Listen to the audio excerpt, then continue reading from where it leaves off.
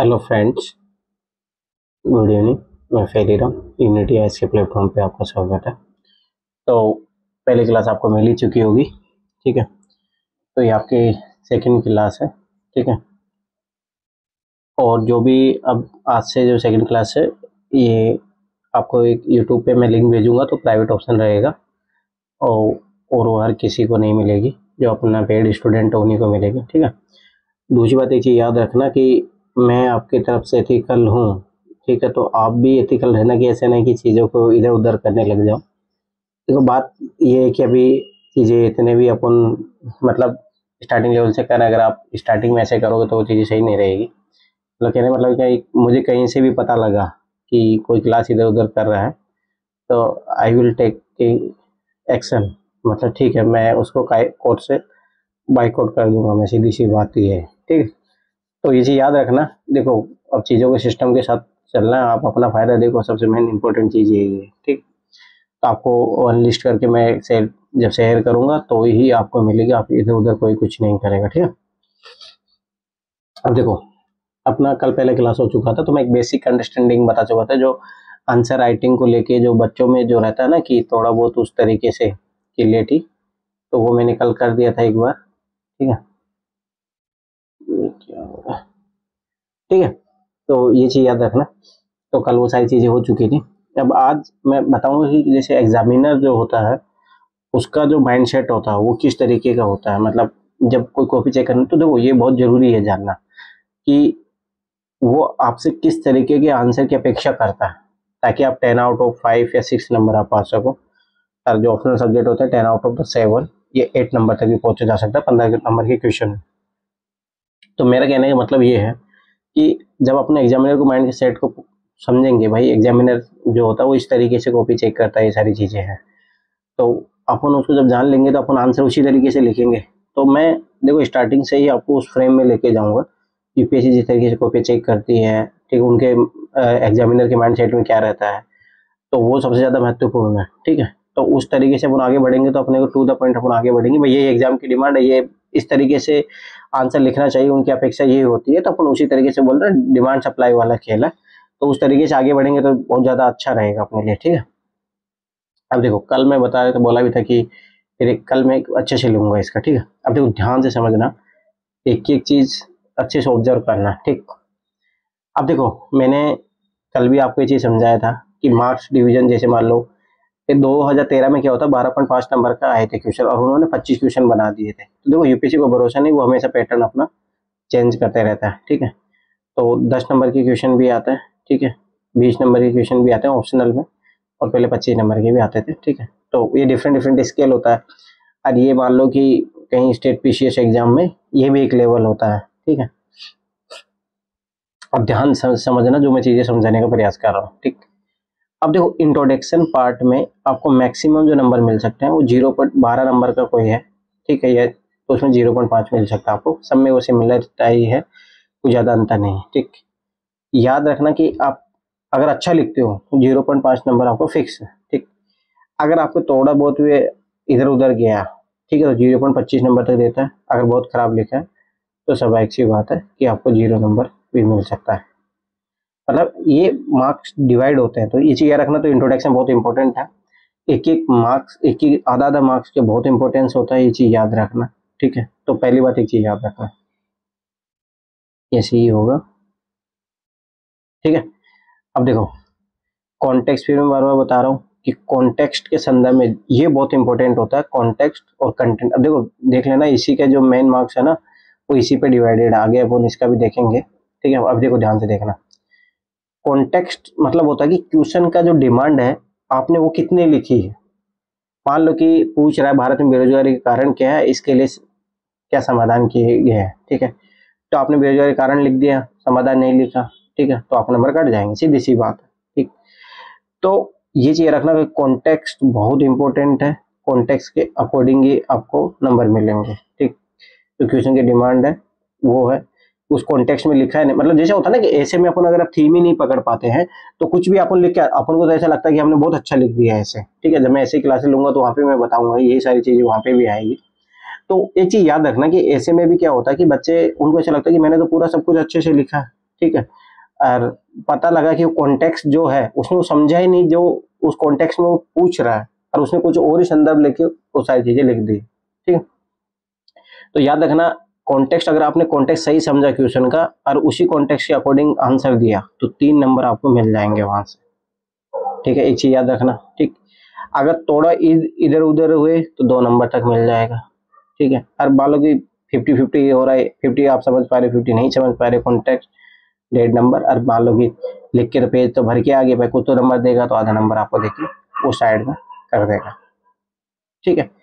तो ये चीज़ याद रखना ठीक है? अब तो देखो, ये दो नंबर से वेरी करके चार पाँच नंबर तक, वो क्वेश्चन के अकॉर्डिंग डिवाइड होता है। मान लो पंद्रह नंबर का रहेगा तो तीन नंबर का। एक सिंपल से समझ के रखो, ठीक है? तो मेरे कहने समझने में तो ये समझना कि सबसे पहली चीज़ इंट्रोडक्शन वो मैं बता दूँगा इंट्रोडक्शन को कैसे अच्छा बनाया जा सकता है, वो सारी चीज़ें मैं बताऊँगा, ठीक है? धीरे धीरे अपन सीखते रहेंगे। कॉन्टेक्ट समझ में आया? कॉन्टेक्ट तभी समझ में आएगा जब बार बार आप क्वेश्चन को अच्छे से रीड करोगे, उसकी डायमेंशन आप कैच करोगे, तभी आप समझ में आएगा। अब अब आप बोलोगे, सर, इसके लिए हमें क्या करना चाहिए? तो इसके लिए आपको क्या करना पड़ेगा? इसीलिए मैं जितने भी अपने क्लासरूम के स्टूडेंट हैं, मैंने सबको बोला है कि पी वाई क्यू आप बार बार देखो। और मेंस के, खासतौर से पीटीओ चाहे मेंस, दोनों को मैंने बोला है कि उनके पी वाई क्यू आप बार बार देखो। ये चीज़ याद रखना, जब तक ये काम नहीं करोगे, मैं बता रहा हूँ ना, सारे काम जो मैं आगे कराने वाला हूँ, ये सारी चीज़ यूपीएससी इसी के पीछे है। PT plus P Y Q plus syllabus मैं फिर बार बार बता रहा हूँ कि ये काम जब तक आप नहीं करोगे, तब तक आप आगे नहीं बढ़ पाओगे। ये चीज़ याद रख लेना। तो इसको जितना अच्छे तरीके से आप करोगे, मैं फिर बार बार बता रहा हूँ, उसको जितना अच्छे तरीके से आप करोगे तो अब देखो कॉन्टेक्ट समझने लग जाओगे। भाई, ये किस कॉन्टेक्स्ट में? देखो, क्या होता है ना बहुत सारे बच्चे क्या होते हैं कि तैयारी के दौरान ही मतलब ये होती है कि वो कभी सिलेबस और ये जो पीवाई को देखते नहीं। अब वहाँ जाते हैं, उनको पेपर लिखते हैं, ऐसा लगता है कि ये तो क्या ही आ गया। और मैं हकीकत बता रहा हूँ, जिसने पीवाई क्यू और सिलेबस देखा है तो उनको पेपर इतना बिग नहीं लगेगा। उनको लगेगा, ठीक है भाई, ये सिलेबस में आंसर था, ऐसा पूछा है इसने। ठीक है, अरे ऐसे पहले भी इन्होंने क्वेश्चन पूछे हुए हैं तो ऐसी बात है ऐसा क्वेश्चन पूछेगा। ठीक। अब धीरे धीरे आप जब पीवाई को बार बार पढ़ोगे पढ़ोगे तो कॉन्टेक्स्ट समझ में लगेगा अच्छा ये किस एंगल से पूछता है, क्या सारी चीज़ें हैं, वो आपको समझने आ जाएगी। ठीक है? तो ये चीज़ हमेशा याद रखना, ये बहुत इंपॉर्टेंट है। ऐसे नहीं आएगा बार बार आपको क्यू आपको देखना, तभी कॉन्टेक्स्ट है। फिर जब आप क्वेश्चन आप लिखोगे तो फिर मैं कमेंट करूँगा कि नहीं, ये जो जो आपने लिखा है, आपके कॉन्टेक्ट से बाहर जा रहा है, क्वेश्चन की डिमांड है ही नहीं। और बहुत सारे बच्चे स्टार्टिंग में ऐसा ही लिखते हैं, मैं फिर बता रहा हूँ। और इनको कोई ये नहीं बताता कि भाई आपकी क्वेश्चन की डिमांड मैं सही बता रहा हूँ, जैसे मैंने टेलीग्राम पर बहुत सारी कॉपियाँ चेक की है। तो वहाँ मतलब ऐसे कुछ भी लिख के नहीं, ठीक है, ये है वो, बात ये है कि भाई क्वेश्चन की डिमांड क्या है कोई नहीं बताएगा आपको, ईमानदारी से सही बता रहा हूँ। जब तक आप एक एक चीज़, भाई पहले क्वेश्चन को समझो, क्वेश्चन के अकॉर्डिंग क्या इंट्रोडक्शन होना चाहिए, क्या कॉन्टेक्स्ट है किस कॉन्टेक्स्ट में लिखना फिर कंटेंट कैसा होना चाहिए कंटेंट अच्छे लेवल का कंटेंट क्या होता है? तो देखो, ये चीज़ें बारीक है। देखो ऐसा लगता है कि कोचिंग में भी आंसर लकीर बता रहा हूँ ना। देखो, मैं कोचिंगों में मैंने काम किया है तो मुझे एक अच्छा खासा अनुभव होगा मैं बता रहा हूँ वहाँ कोई मतलब नहीं है। ठीक है अच्छा है। दस में से ठीक है, दे दो तीन नंबर अरे, ये रटे रटाए कमेंट होते हैं, वो लिख के दे देता है। इसे बच्चों को कभी कभी उसका अपग्रेडेशन नहीं होता, ये चीज़ याद रख लेना ठीक है? तो भाई सब सी बात है, मेरी नहीं ज़िम्मेदारी ये बनती है कि जैसे मैं तुम्हें सिखा रहा हूँ, अब मैं को भी चेक करूँगा। तो सब की बात है, मैं ये समझ पाऊँगा कि भाई जो मैंने सिखाया है, क्या इसने वो अप्लाई किया है? नहीं अप्लाई करा तो भाई सब की बात है, मैं नंबर काटूँगा, सीधी सी बात है। फिर मैं बोलूँगा, देखो मेरी जाके क्लास वो देखो, आप। ठीक है? तो ये चीज़ याद रखना। तो मैं फिर बता रहा हूँ कॉन्टेक्स्ट बहुत ज़्यादा इंपॉर्टेंट होता है। अब आती है कंटेंट जितना देखो, अगर आप क्वेश्चन की डिमांड समझ गए, ठीक है? तो सबसे मेन चीज़ ये है कि आपने कॉन्टेक्ट समझ लिया क्वेश्चन का, या ऐसे है जो भी है, ठीक है? अब आपने उसका, उसके अकॉर्डिंग कंटेंट लिखोगे आप। तो कंटेंट में याद रखना कि कौन सा कंटेंट लिखना, अब देखो मैं भी जब स्टार्टिंग पहली बार जब मैं टेस्ट देने गया तो मैंने क्या सोचा कि यार मैं जितने मुझे पॉइंट आते हैं सारे मैं लिखूँ। पहली बात ऐसे क्या वो क्वेश्चन कंप्लीट नहीं हो पाएँगे, ठीक? तो कंटेंट को आप हमेशा डाइवर्सिटी रखना कि मैं वही पॉइंट लिखूँ जो बहुत ज़्यादा इंपॉर्टेंट हो, ठीक है? तो मैं फिर बता रहा हूँ, ये अभ्यास से आ जाएगा। और कौन सा फ़र्स्ट पॉइंट होना चाहिए, कौन थर्ड कौन सा फोर्थ और कौन सा फाइव और कितने पॉइंट लिखने चाहिए, ये भी मैं बता दूँगा धीरे धीरे वो सब चीज़ें समझ में आ जाएगी। ठीक है? तो सबसे मेन इंपॉर्टेंट हो गया भाई कंटेंट कैसा होना चाहिए। तो कंटेंट का भाई तीन नंबर है। अच्छा कंटेंट लिखा थोड़ा बहुत नॉर्मल लिखा तो, मतलब ये सारी चीज़ें ठीक है? अब एक चीज़ समझो कि स्वाभाविक सी बात है सबसे पहले क्वेश्चन को समझना फिर उसके अकॉर्डिंग लिखना। कंटेंट और कंटेंट में भी आपको भाई कौन पहले पॉइंट पे आएगा सेकंड पे आएगा कौन से वर्ड यूज़ करना कैसे फैक्ट क्या डाल के मुझे वेरीफाई करना उसको कि ताकि मुझे अच्छे नंबर मिले। देखो यही छोटी छोटी चीज़ें है। जो टॉपर में अरे एक जो फाइनल जो लिस्ट में आता है और वो लास्ट में रहता है एक टॉपर रहता है उसमें यही अंतर है। वो अच्छे से कॉन्टेक्स्ट को समझ लेता है कंटेंट में ये आ, सोच लेता है कि मुझे कौन सा पॉइंट पहले डालना है कौन सा आखिरी में डालना कितने पॉइंट मुझे डालना है। क्वेश्चन की डिमांड तीन चार डायमेंशन में पाँच पाँच मैंने पॉइंट डाल दिए बस अपना फ्लो चार्ट बनाया फटाफट से डाल दी ठीक है और मुझे कहाँ लगा जस्टिफाई करना तो वहाँ पे कुछ फैक्ट दे दिया डाटा दे दिया गवर्नमेंट की रिपोर्ट मैंने मेंशन कर दी। तो ये बहुत सारी चीज़ें इंपॉर्टेंट है ये आर्ट है। ठीक है, ये चीज़ बहुत इंपॉर्टेंट है, ठीक है। अब देखो, आप नंबर काउंट करो, तीन मतलब कि ठीक है तीन नंबर यहाँ से, आधा नंबर यहाँ से, ठीक है, और तीन नंबर यहाँ से तो मतलब लगभग साढ़े छः नंबर का कर चुके हैं। अब देखो, आगे बढ़ो।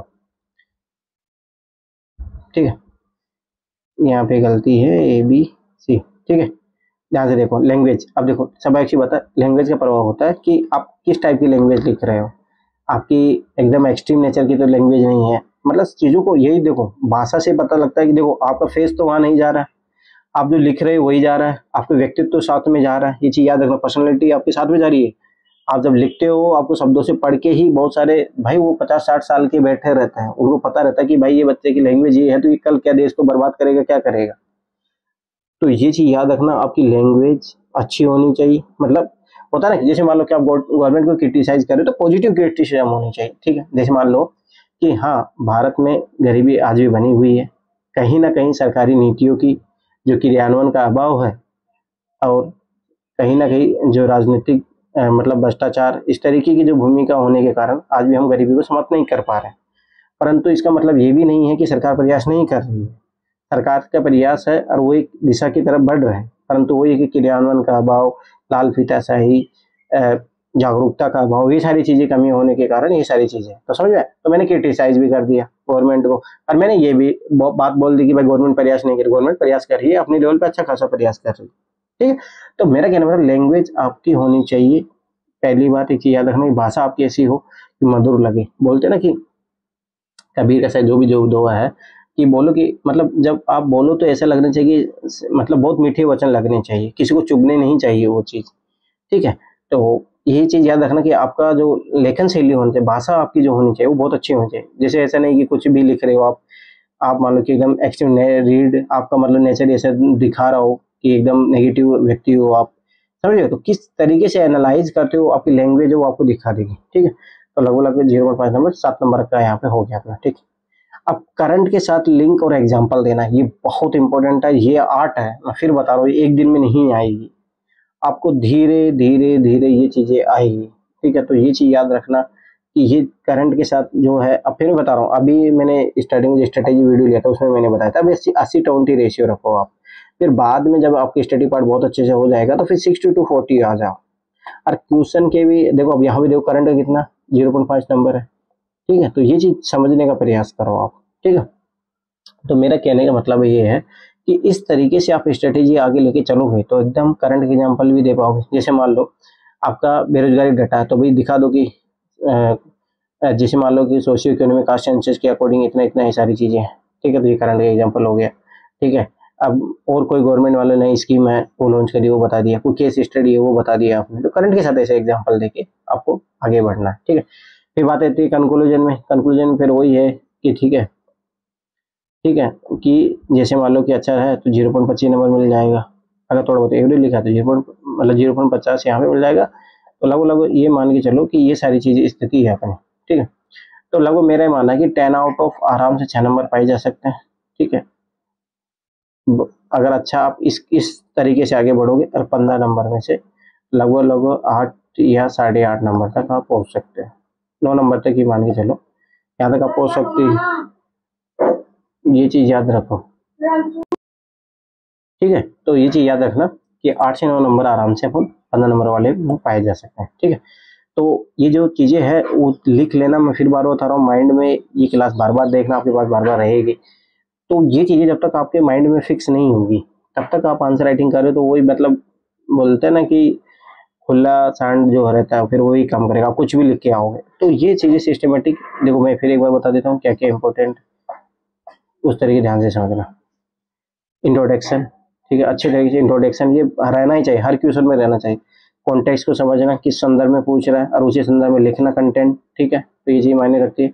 लैंग्वेज आपकी कैसी होनी चाहिए, भाषा, ठीक है। करंट के साथ आप लिंक कर पा रहे नहीं कर पा रहे उस टॉपिक को, और कंक्लूड करना कंक्लूड हमेशा ये रहना चाहिए कि मतलब आपको कंसाइज करना है, उस क्वेश्चन को कंसाइज करके आपको ये बताना है कि ये चीज़ ये थी अरे इसको ऐसा किया जाए तो ऐसा बेहतर होगा।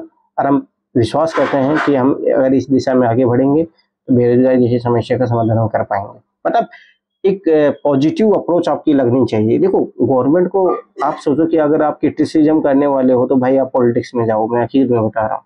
आपको नेचर ऐसा कि आप क्रिटिसाइज करते हो, हर चीज़ को क्रिटिसाइज हर चीज़ को नेगेटिव ऐसे देखते हो, कोई भी आप पॉजिटिव एंगल देख ही नहीं पा रहे हो। तो मैं आखिर बता रहा हूँ कि आप फिर ब्यूरोक्रेसी के लिए नहीं हो। आप फिर जाओ आप सीधा सीधा जाके इन्वॉल्व करो अपने आप को। राजनेता बनो ज़्यादा ब्यूरोक्रेसी ये गिवर सॉल्यूशन गिवन है। आपको सॉल्यूशन देना कल जाके वहाँ पे, ठीक है? तो ये चीज़ याद रखना। ठीक है? अब देखो, फिर मैं वो जो अपन ने ये चीज़ समझा, अब ये समझना है कि भाई कितने नंबर पे अच्छे मार्क्स आ रहे हैं, क्या है? अब जैसे मान लो मैं आपकी कॉपी चेक करूँगा। अगर दस में से आपके पाँच से लेके छः नंबर के बीच में आ रहा। तो भाई एक्सलेंट है। ये मैं बता रहा हूँ टॉपर के टॉप टेन के लिए है ये। टॉप टेन के लिए ये चीज़ याद रखना। आप यूपीएससी में टॉप कर जाओगे। इसमें मैं गारंटी बता रहा हूँ, पंद्रह नंबर में से इतने नंबर आ रहे हैं आपके। जैसे मैं उधर बताया तो वही सही चीज़। बीस नंबर से आपके इतने आ रहे हैं। तो आप पक्का टॉप करोगे। ठीक है, ये चीज़ मैं बता रहा हूँ। ठीक। अगर मान लो कि फोर्टी टू फिफ्टी भी आ रहा है आपका, ठीक है तो भी ठीक है, एक अच्छा लेवल है। आप आराम से पूरा कंप्लीट अच्छी रैंक से सिलेक्शन पा जाओगे। ठीक है। तो ये चीज़ याद रखना। मैं फिर बार बार बता रहा हूँ कि ये चीज़ें माइंड में रखो। पंद्रह नंबर वाले में आपके साढ़े छः से लेके, अगर छः से मान लो कि आठ तक आ रहा है तो अच्छा है, बहुत अच्छा है, ठीक है? गुड मतलब कि फिर पाँच सौ से नीचे रैंक जाएगी आपकी, ठीक है? ये थर्टी से फोर्टी रेशियो मतलब ठीक है?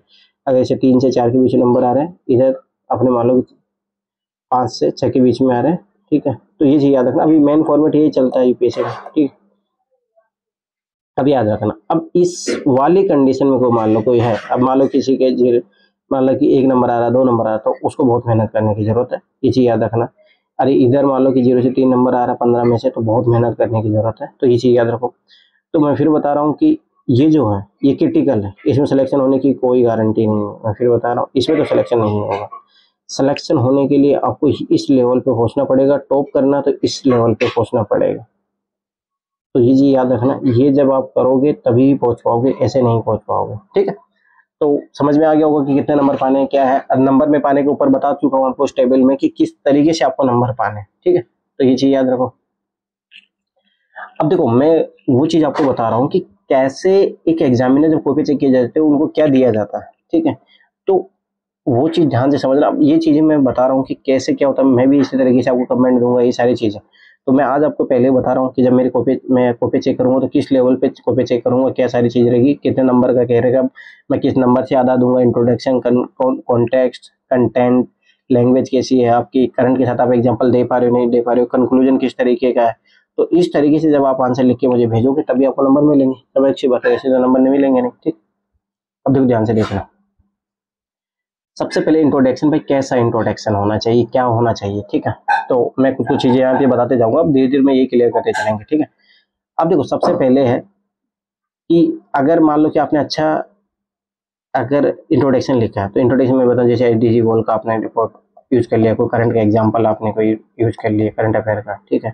या आपने उसकी डेफिनेशन अच्छे से डिफाइन कर दिया, ठीक है? और उसमें डेफिनेशन भी भाई यूनेस्को की मतलब इस तरीके से मतलब करप्शन का मान लो कि अच्छी सी संस्था की है, अगर उसने को दी है तो वो अगर लिखोगे विद द प्रूफ लिखोगे आगे by by the UNC United Nation Security Council के द्वारा ये बताया गया है ये सारी चीज़ें तो आपका एक अच्छा इंट्रोडक्शन बढ़ जाता है, ठीक है? तो ये चीज़ रखना एच डी जी गोल्ड का आप यूज़ कर सकते हो, ठीक है? सबसे देखो सिंपल से सिंपल तरीका इंट्रोडक्शन तरीका ना शुरू होता है कि आप उस क्वेश्चन की मेन थीम उठाओ और मेन थीम को उठा के उसको डिफाइन कर दो, सबसे ईजी मेथड है। दूसरा उसी को एक तो होता है कि भाई जैसे फ़ूड प्रोसेसिंग क्या है? तो उसके बारे में बता दो भाई कि ये ये है बस ठीक है?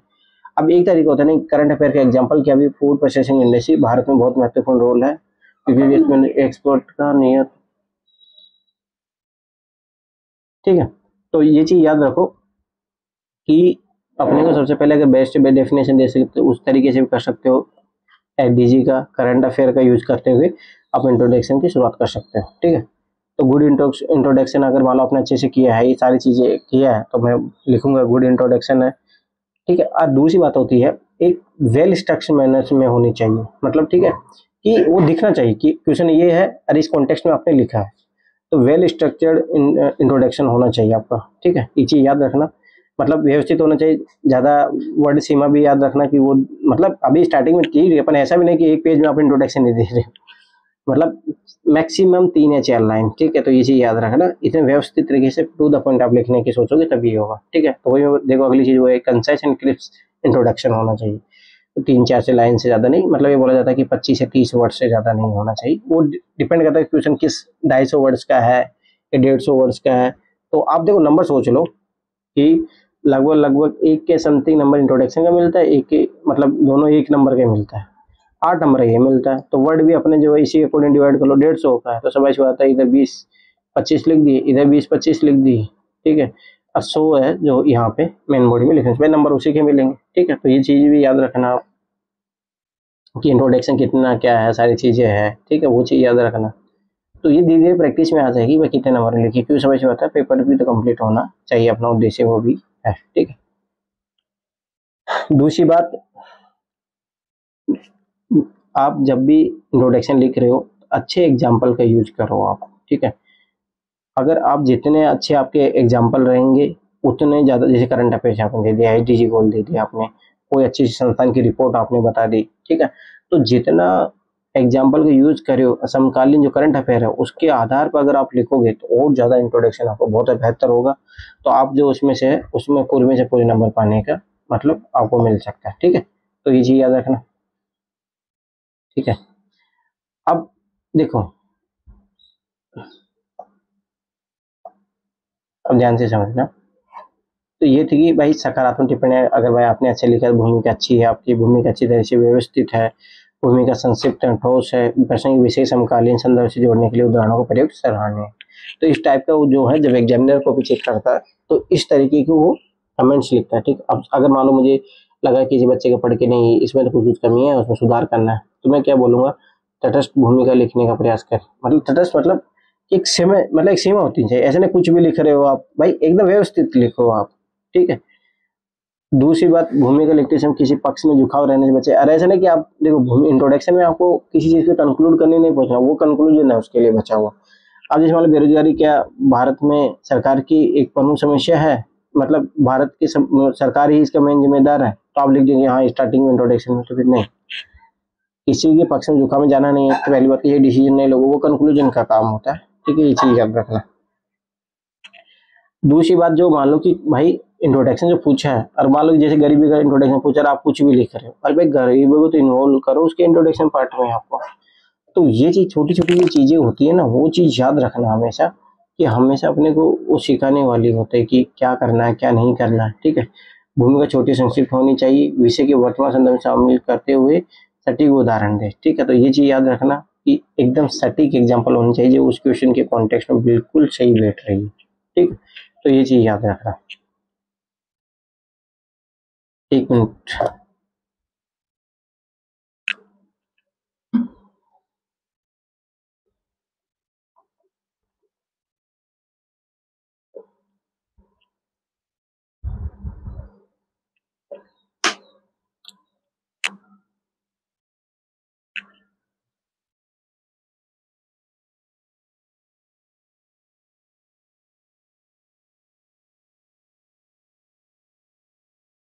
आराम से करेंगे अपन।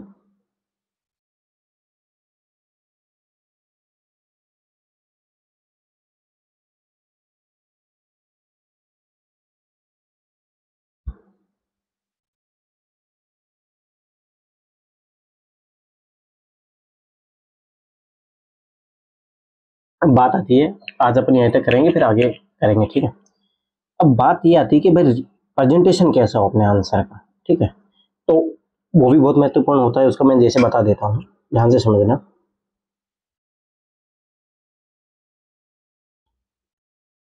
ठीक है ध्यान से समझना। ये बुकलेट आपकी, ठीक है? अब आपको आंसर लिखना ध्यान से समझना। तो आपने इंट्रोडक्शन से लिखना शुरू किया, ठीक है? ये आपने जैसे लगभग लगभग पच्चीस तीस वर्ड में यहाँ पर कंप्लीट हो गया। ध्यान से समझना ये चीज़। ठीक है? अब देखो, ध्यान से समझना। एक चीज़ है कि मेन बॉडी में आते हैं फ्लो चार्ट का यूज़ करो। तो यहाँ पे मान लो कि कोई हेडिंग दे दी अपन ने। फ़ूड प्रोसेसिंग इंडस्ट्री में गवर्नमेंट क्या करना चाहिए, ठीक है? ये हेडिंग दे दिया, फिर उसके बाद में एक फ्लो चार्ट बना के डायग्राम्स ये फ्लो चार्ट भी मैं बताऊँगा कौन कौन से फ्लो चार्ट होते हैं, क्या सारी चीज़ें। आपने ऐसे बना दिया, ठीक है? दो तीन आपने लिख दिया। जब आप कंक्लूजन करोगे ऐसे करके कंक्लूजन एकदम मतलब मेरा कहने मतलब एकदम वेल स्ट्रक्चर मैनर में लगना चाहिए आपका, कि एकदम बहुत बंदे ने बहुत समझदारी के साथ अच्छे से लिखा है, ठीक है? तो मतलब बहुत एक व्यवस्थित होना चाहिए, ठीक है? तो ये चीज़ याद रखना तो वो होगा, उतना ही अच्छा लगेगा आपका आंसर ठीक है? तो ये चीज़ याद रखना, ठीक है? जितना आंसर अच्छा लिखोगे, उतना ज़्यादा बेहतर रहेगा, ठीक है? अब देखो,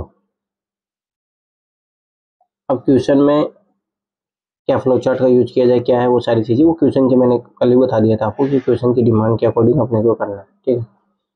फिर उत्तर की रूपरेखा अच्छी होनी चाहिए तो वो तो मैं सिखा दिया आपको। ब्लड्स का अच्छा प्रयोग किया गया, ठीक है? अब जैसे मान लो समझो ये क्या चीज़ है। अब देखो ध्यान से समझना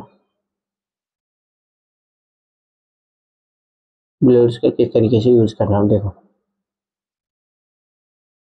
ये इंट्रोडक्शन पार्ट लिख दोगे आप ठीक है? अब उसके बाद में भारत में बेरोजगारी के कारण क्या है? एकदम बुलेट पॉइंट यहाँ पे पहला कारण, दूसरा कारण, तीसरा कारण, चार कारण, पाँच कारण। समझ आया एकदम बुलेट पॉइंट अब कोई कोई गोला लगाता है, कोई एरो लगा के लिखता है, वो अपना अपने स्टाइल में, ठीक है? बुलेट पॉइंट करके आपको, उसका आपको लिखना है, ठीक है? तो ये चीज़ याद ध्यान से समझना कि बुलेट पॉइंट उस तरीके से यूज़ होता है उसका। और देखो तो ये सबसे मेन इम्पोर्टेंट है कि जो link and flow between paragraph and point is good अब ये देख जैसे मान लो कि एक पैराग्राफ ये बना एक पेज में, अब जब इस पैराग्राफ में आप जा रहे हो, पहली बार लिंक होना चाहिए। लिंक के वर्ड वहाँ पे मैं बताऊँगा धीरे धीरे, जब आपको मैं कमेंट लिखूँगा तो समझ में आ जाएगा कि जैसे आपको फ्लो यहाँ पे कनेक्ट नहीं हो पा रहा है, ठीक है? तो ये चीज़ याद रखो पैराग्राफ बिंदु के बीच जुड़ा और प्रवाह अच्छा होना चाहिए। फ्लो होना मतलब कोई व्यक्ति पढ़े तो एकदम फ्रिक्शन नहीं लगने चाहिए कि वो रुक रुक के पढ़ना पड़ा, उसकी मात्रा गलती है आपकी। तो वो चीज़ें नहीं होनी चाहिए चीज़ याद रखना। ठीक है? आपको ऐसा लिखना है कि जैसे मान लो कि ये पढ़ता रहा पढ़ता रहा, वो यहाँ आ गया कभी उसको पता नहीं लगना चाहिए। ये खासियत होती है मतलब आंसर राइटिंग की। तो पैराग्राफ की जब भी आप पॉइंट एड ऑन कर रहे हो, ठीक है? तो एक लिंकेज दिखना चाहिए दो पैराग्राफ में, ठीक? दूसरा फ्लो ऐसा होना चाहिए कि आप आराम से वो पढ़ता चला जाए, ठीक है? तो ये चीज़ याद रखना। एग्जामिनर को आप जितना चीज़ें सिंपल करके दोगे तो आपके लिए उतना ही बढ़िया होगा ये चीज़ याद रखना, ठीक है? तो फिर बार बता रहा हूँ कि ये चीज़ें अच्छे तरीके से समझ जाओ। ये बहुत इंपॉर्टेंट है, ठीक है? वो डायरेक्ट वो पॉइंट बता रहा हूँ, जो एग्जामिनर के लिए बहुत इंपॉर्टेंट रहता है, ठीक है? जो हेडिंग होती है, उसका भी आपको अच्छे तरीके से यूज़ करनी चाहिए। जैसे मान लो, भारत सरकार में, भारत सरकार में प्रशासनिक कमी है। तो ये हेडिंग में बहुत अच्छे तरीके से बनाओ उसको ऐसे करके लिखो। फिर चाहो तो आप इसको बुलेट पॉइंट में लिख सकते हो। एक मेथड ये भी है। फ्लो चार्ट बना के भी आप लिख सकते हो। ठीक है, ये चीज़ याद रखना। तो मेरा कहने मतलब है कि इस तरीके से आपको चीज़ हेडलाइन तो हेडिंग आपको देनी पड़ेगी। और जितना हेडिंग आपने जितना प्रोवाइड करोगे देखो तो क्वेश्चन और एग्जामिनर को समझ में आ जाएगा चाहिए बंदा समझ चुका है इस क्वेश्चन की क्या डिमांड है। अगर आप हेडिंग नहीं लिखोगे तो सब अच्छी बात आपको नंबर नहीं मिलेंगे। ठीक है मतलब एग्जामिनर के लिए इजी पड़ता है ना? जैसे मान लो आप इंट्रोडक्शन लिखा इंट्रोडक्शन से आप मेन बॉडी में जा रहे हो तो भाई क्या लिखने जा रहे हो? तो उसका हेडिंग बनाओ आप एक अच्छा सा। फिर उसके बाद फ्लो चार्ट हो उस तरीके से आप लिखने का प्रयास कर सकते हो, ठीक है? दूसरी बात, आपकी हैंड राइटिंग होनी चाहिए। बस मैं फिर बताऊँ रीडेबल होनी चाहिए, ठीक है? एक चीज़ याद रखना क्लियर होनी चाहिए। मतलब आप जैसे मान लो जब भी लिखो तो दूर दूर वर्डों को लिखो ना सीखो पहली बार ठीक है? उसमें आराम से यूपीएससी में खूब पेज मिलते हैं जी ये चीज़ याद रखना तो आराम से उस चीज़ के लिए कोई कंफ्यूजन नहीं होनी चाहिए, ठीक है?